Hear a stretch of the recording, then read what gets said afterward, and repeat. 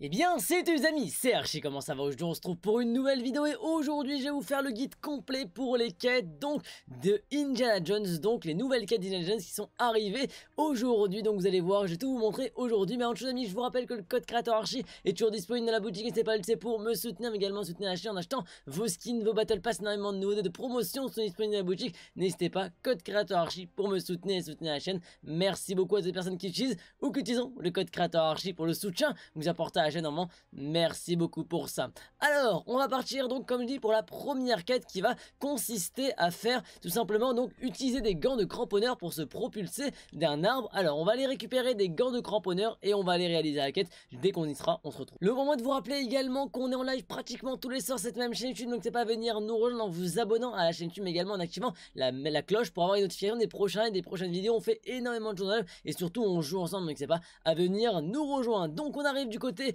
donc de euh, Greasy Groove où on va aller récupérer tout simplement le fameux, euh, les fameux euh, donc les fameux gants pour se cramponner. Simplement, on arrive ici. Hop, donc on récupère les gants de cramponneur et on récupère ça donc directement. Vous avez différents emplacements. Je fait une vidéo complète pour montrer où sont les emplacements des gants de cramponneur. Vous voyez également ici. Donc il faut faire quoi? Il faut donc utiliser les gants pour se propulser d'un arbre. Ça veut dire qu'on va juste en fait s'accrocher ici. Hop là, on s'accroche, on se propulse. On a fait 1 sur 10. On s'accroche, on se propulse 2 sur 10 on s'accroche, on se propulse 3 sur 10 et on continue comme ça, en vrai on a énormément de charge donc il faut faire ça 10 fois donc que sur des arbres, hein. uniquement sur des arbres, euh, attends est-ce que ça compte sur les autres trucs, je sais pas, bref en tout cas c'est 10 sur des arbres donc on va le faire sur les arbres, de il y en a tellement sur la map que c'est pas très compliqué à réaliser, hop là on s'accroche, on se cramponne, on s'accroche, on se cramponne et on y va comme ça et on va atteindre les 10 pour terminer la fameuse quête et la quête est donc réalisée dès maintenant. Et là on a donc récupéré un nouvel item donc de la panoplie, on a l'outil euh, l'outil de collecte qui a été donc récupéré. Les amis, pour cette nouvelle quête, il va falloir donc se diriger vers le temple et vers les ruines pour aller récupérer des fragments, donc les reliques d'Urburger directement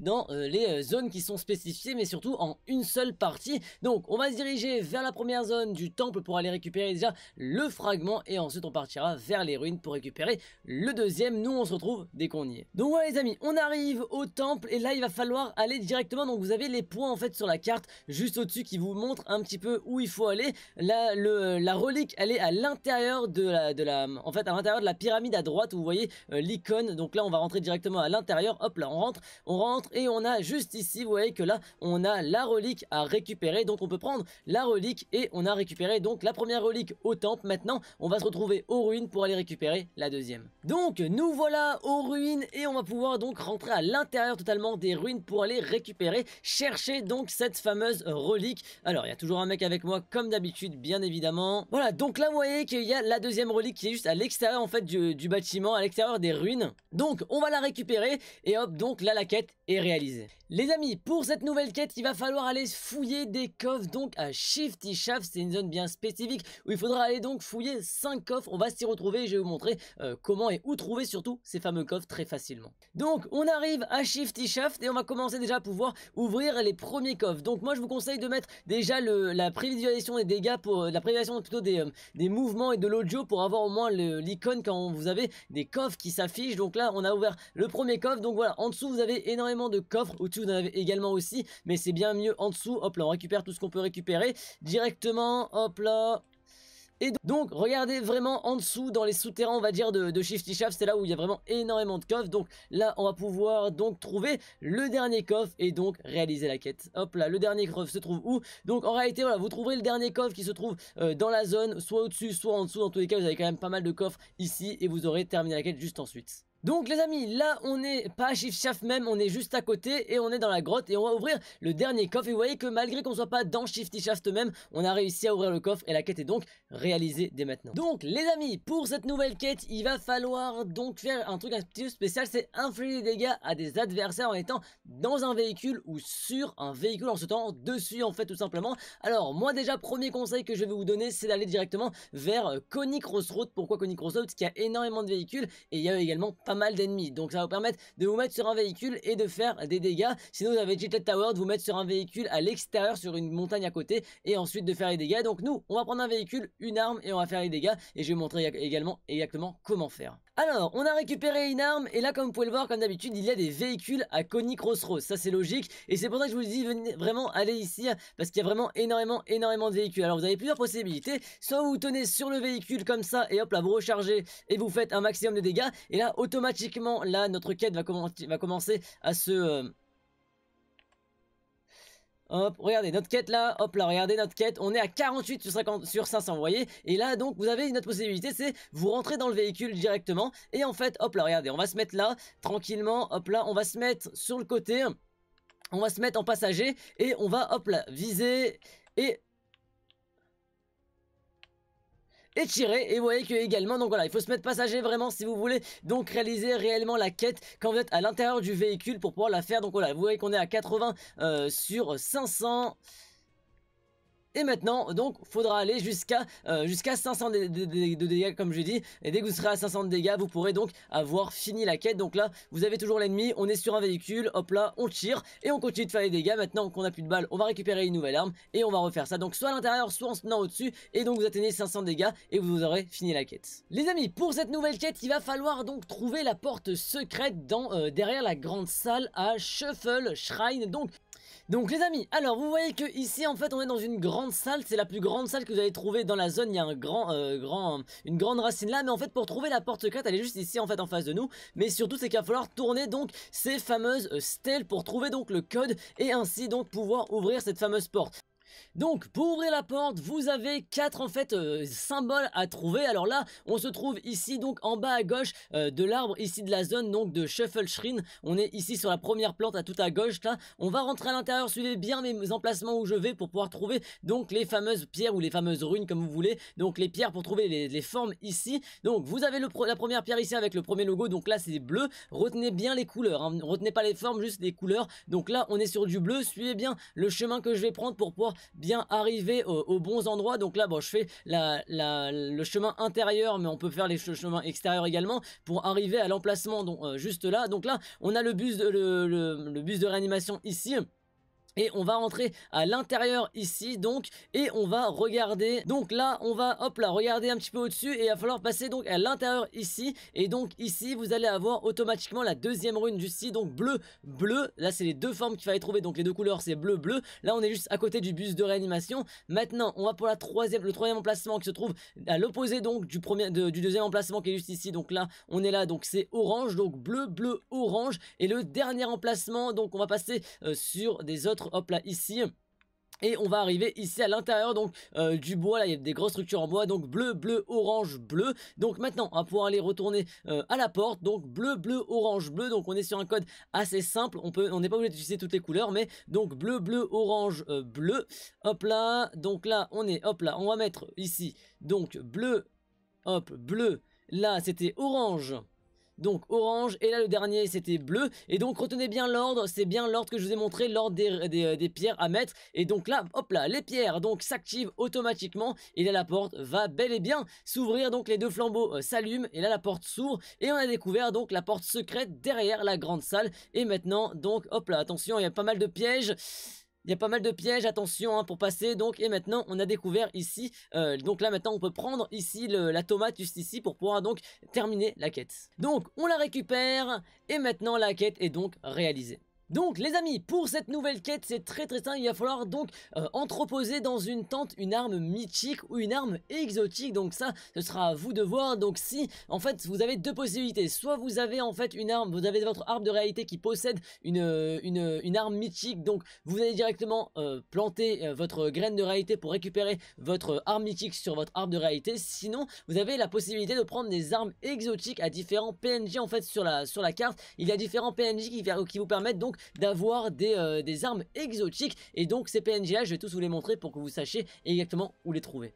Donc nous on n'a pas d'armes d'armes mythiques dans notre arbre de réalité, enfin dans notre, dans notre petit arbuste de réalité, donc on va se diriger vers la bamboche qui est l'un des emplacements, on va pouvoir donc récupérer une arme exotique, puisque comme vous n'avez pas, euh, si vous ne voulez pas attendre 40 ans d'avoir une arme mythique ou de devoir tuer quelqu'un qui en a une qui est très compliquée à trouver potentiellement, allez directement à la bamboche, il y a différents emplacements que je vais vous montrer dans quelques instants, mais d'abord nous on va aller donc récupérer comme je dis une arme exotique auprès d'un personnage, donc là vous voyez qu'on a ici donc lui nous propose soit une arme légendaire, soit des gants, mais ce n'est pas à lui euh, qu'il faudra qu'on parle, il y a plusieurs PNJ en fait dans la bamboche et il faudra avoir le bon PNJ et dès qu'on l'a trouvé, je vous, on va se retrouver.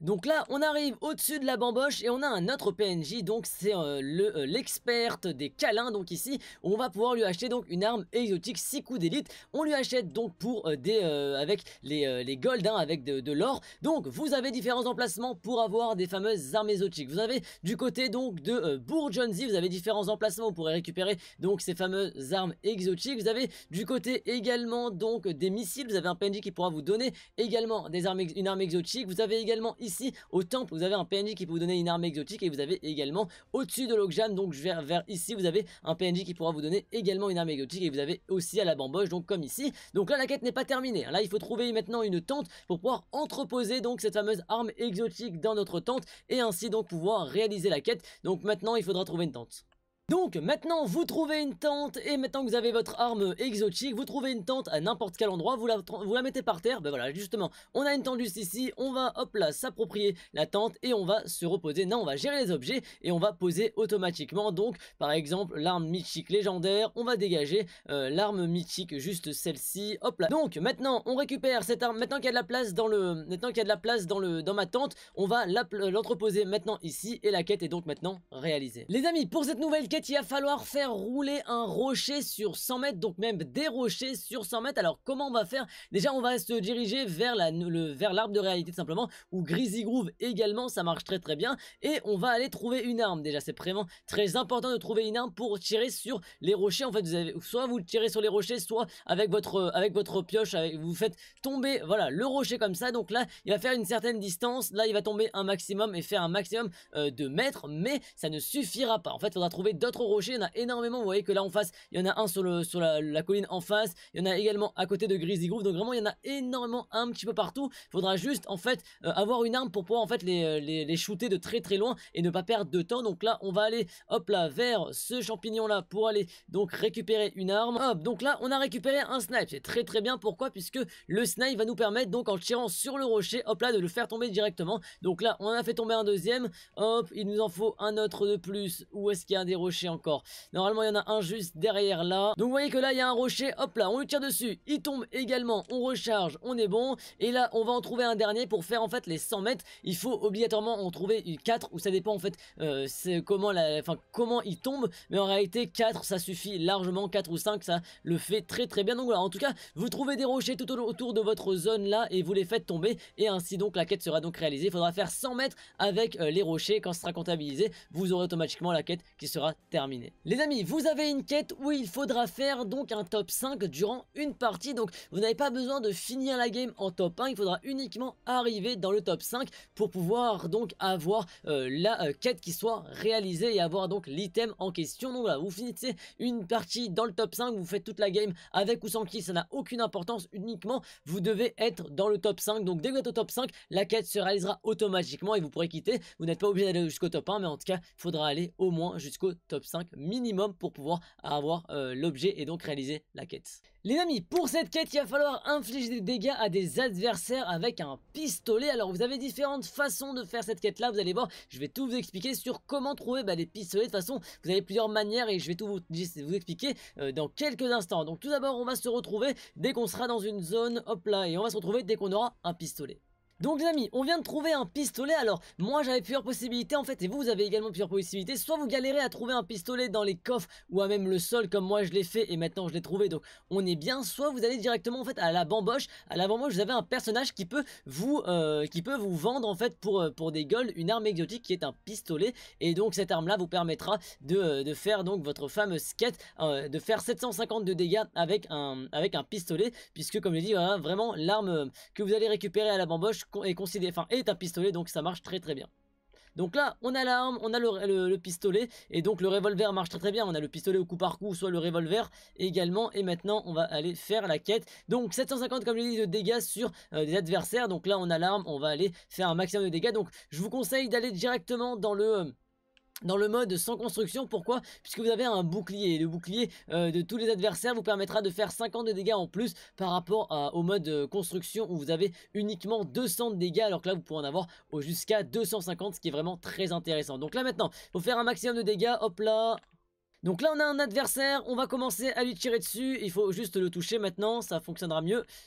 Hop là, donc voilà, là on a fait 50 de dégâts comme vous pouvez voir Et là on va continuer à lui faire un maximum de dégâts. Donc là vous avez plusieurs possibilités. Donc soit vous continuez de lui faire un maximum de dégâts euh, pour le tuer Soit vous avez une autre possibilité C'est de en fait lui laisser recharger son bouclier Pour ensuite le, euh, re, lui faire 50 de dégâts. Et en tout cas j'espère que cette vidéo vous aura plu. N'hésitez pas à laisser un j'aime et un commentaire pour me dire ce que pensez de la vidéo également à vous abonner pour ce qui varier prochainement en termes de tutos, d'astuces, énormément de choses en préparation Vous arriver sur la chaîne YouTube. N'hésitez pas à rester connecté en vous abonnant à cette même chaîne Mais également activer la petite cloche pour avoir les notifications des prochains lives, des prochains vidéos. On est en live pratiquement tous les soirs cette même chaîne YouTube. N'hésitez pas à venir nous rejoindre. On fait énormément de choses en live. Donc n'hésitez pas à vous abonner puisqu'on joue ensemble surtout en live. Donc n'hésitez pas à venir nous rejoindre sur la chaîne YouTube sur laquelle on est actuellement. En description, vous avez mon compte Twitter, mon compte TikTok. C'est pas à les suivre pour booster un maximum la chaîne et surtout ne plus rater aucune information autour des lives comme des vidéos. Ça se passe sur mes réseaux sociaux en description. N'hésitez pas à les suivre pour booster un maximum la chaîne. Dernière chose, amis, mon code créateur est toujours disponible dans la boutique. Et c'est pas à pour me soutenir, mais également soutenir la chaîne en achetant vos skins, vos battle pass, énormément de nouvelles de promotions sont disponibles dans la boutique.